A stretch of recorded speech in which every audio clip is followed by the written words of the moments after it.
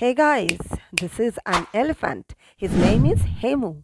I know you all know this, but why I am saying this?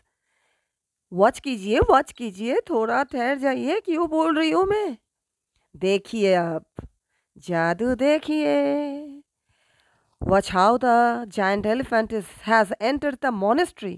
Yes, bending down his knees and trying to sit on the ground.